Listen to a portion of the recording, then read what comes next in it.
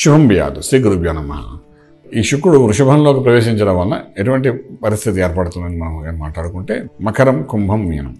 మకర కుంభం మీనం వాళ్ళకి మనం మాట్లాడుకుంటే డెఫినెట్గా మకర రాశి వారికి శుక్రుడు అక్కడ రావడం పంచమ స్థానంలో రావడం పిల్లలకు కావాల్సిన ఏర్పాటు చేయడం విదేశాల కోసం వెళ్ళడానికి చేసే ప్రయత్నంలో వాళ్ళు సక్సెస్ఫుల్ అవ్వడము విదేశ చదువుల కోసం చేసే ప్రయత్నంలో సక్సెస్ఫుల్ అవ్వడము ఇలాగ అన్ని రకాలుగా శుక్రుడు యొక్క అడ్వాంటేజ్ అనేది మనకు ఒక ఎక్కడైనా ఒక తీగ ఆగింది అంటే అది మళ్ళీ రీయాక్టివేట్ అయ్యి సక్సెస్ఫుల్ చేసి వస్తాడు.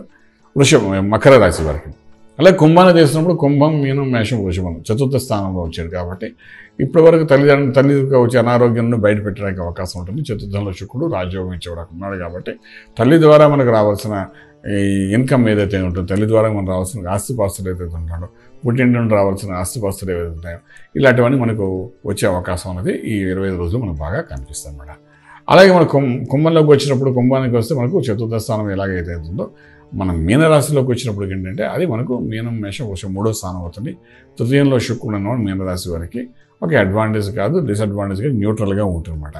స్త్రీ మూలకంగా కొంత ధనలాభం కనబడుతుంది. అది కాక శుక్రుడు బలంగా ఉంటే మాత్రం డెఫినెట్గా మీనరాశి వారికి కూడా మూడింట్లో ఉండడం వల్ల ఏంటంటే సమ్ అడ్వాంటేజ్ ఎలాంటిదంటే లగ్జరీస్ లైఫ్కి కొంచెం మార్గం చూపిస్తుందన్నమాట.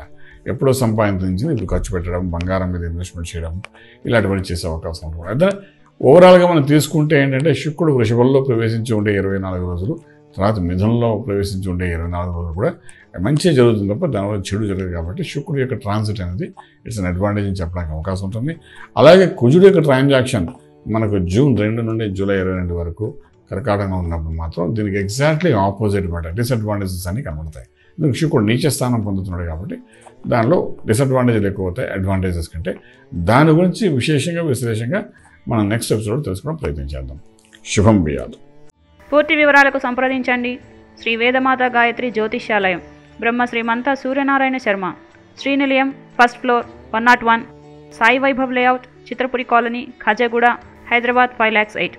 సంప్రదించవలసిన phone numbers triple eight triple five nine one four seven. Triple eight triple five nine one four eight. Nine eight four triple nine six triple four.